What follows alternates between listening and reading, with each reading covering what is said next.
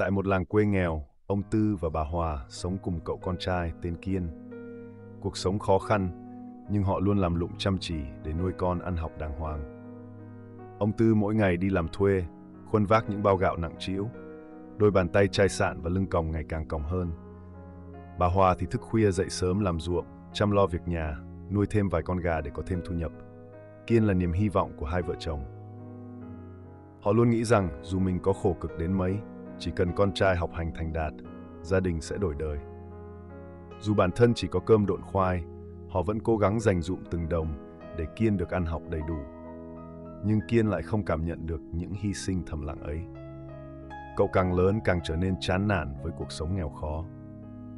Cậu nhìn bạn bè trên thị trấn, sống sung sướng, ăn mặc đẹp, đi xe đẹp và lòng đâm ra ghen tị, cảm thấy xấu hổ với cuộc sống túng thiếu của gia đình. Một ngày nọ, Kiên tình cờ kết bạn với đám bạn xấu trên thị trấn. Chúng lôi kéo Kiên vào những cuộc vui, những bữa tiệc mà cậu chưa từng có. Ban đầu, Kiên cảm thấy áy náy vì phải xin tiền cha mẹ, nhưng rồi cậu nhanh chóng bỏ qua cảm giác tội lỗi ấy. Ông Tư và bà Hòa ban đầu không nhận ra sự thay đổi của con. Chỉ đến khi bà Hòa phát hiện trong cặp của Kiên có những món đồ xa xỉ mà gia đình không thể nào mua nổi, bà mới hiểu rằng con trai mình đã đi lạc hướng. Bà cố gắng khuyên nhủ con quay về đường ngay nẻo chính, nhưng Kiên chỉ lạnh lùng đáp lại. Con đã quá mệt mỏi với cái nghèo này rồi.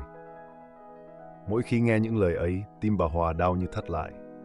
Ông Tư thì lặng lẽ hơn, nhưng ánh mắt ông mỗi ngày một buồn bã, đôi vai như nặng thêm.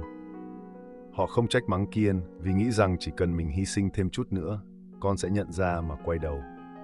Dần ra, Kiên không chỉ xin tiền cha mẹ mà còn mượn tiền khắp nơi để tiêu xài phung phí. Đến khi nợ nần chồng chất, không còn cách nào, ông Tư và bà Hòa đành bán đất đai, trả nợ cho con. Tất cả tài sản của gia đình đều đã mất sạch, nhưng Kiên vẫn không dừng lại.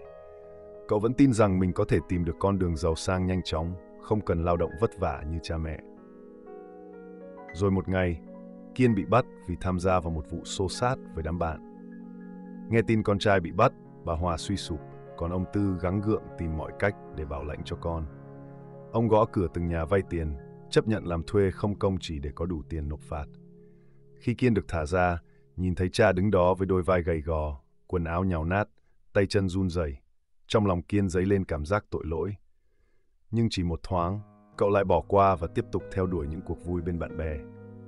Cuộc sống của ông Tư và bà Hòa ngày càng khó khăn. Không còn đất đai, không còn tiền, ông Tư chỉ biết tiếp tục làm thuê để lo cho những bữa ăn đạm bạc. Bà Hòa ngày càng gầy gò, thân hình nhỏ bé của bà trở nên mong manh hơn trong cái rét buốt của mùa đông. Dù vậy, mỗi khi có ai hỏi về Kiên, bà vẫn mỉm cười bảo rằng Thằng Kiên nhà tôi giỏi lắm, chỉ là chưa tìm được hướng đi thôi. Một ngày kia, Kiên nhận tin bà Hòa bị bệnh nặng. Cậu trở về nhà, lần đầu tiên trong đời thấy mẹ nằm trên giường, khuôn mặt xanh xao, đôi mắt yếu ớt nhưng vẫn cố nở nụ cười nhìn con. Nhìn người mẹ đã hy sinh tất cả cho mình, Kiên cảm thấy tê tái. Đôi tay chai sạn, đôi mắt ướt át của bà dường như đã nói hết tất cả những gì bà không thể thốt ra. Sau lần đó, Kiên mới thực sự tỉnh ngộ. Cậu nhận ra rằng tất cả những gì cậu đã làm chỉ là ích kỷ, để lại cho cha mẹ nỗi đau vô hạn.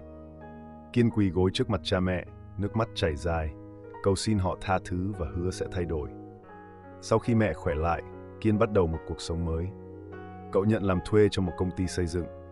Mỗi ngày làm việc từ sáng đến tối, dành dụm từng đồng để trả nợ và giúp cha mẹ. Những ngày đầu, công việc nặng nhọc khiến cơ thể Kiên đau nhức. Nhiều lúc cậu muốn bỏ cuộc, nhưng hình ảnh cha mẹ vất vả lại thôi thúc cậu tiếp tục cố gắng. Dần dần, Kiên học được giá trị của lao động và sự kiên nhẫn. Cậu không chỉ trưởng thành về thể xác, mà còn về tâm hồn, biết trân trọng những gì mình đang có cậu còn dần kết nối lại với những người trong làng, giúp đỡ những gia đình nghèo khó hơn, như một cách để chuộc lại lỗi lầm.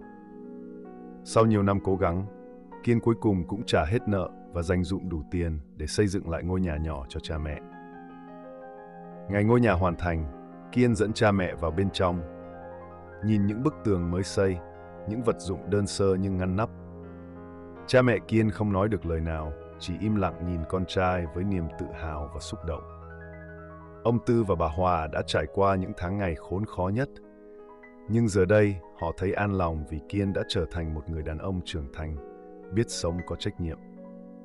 Kiên cũng thấy mãn nguyện vì cuối cùng đã làm được điều gì đó cho cha mẹ. Mỗi khi nhìn cha mẹ cười, lòng anh như được an ủi, biết rằng mình đã không còn làm họ thất vọng. Câu chuyện kết thúc với hình ảnh gia đình nhỏ của Kiên sống trong ngôi nhà mới, không còn giàu có nhưng hạnh phúc tràn ngập. Kiên nhận ra rằng hạnh phúc thật sự không đến từ sự giàu sang hay danh vọng, mà từ tình yêu thương chân thành và những hy sinh âm thầm của cha mẹ.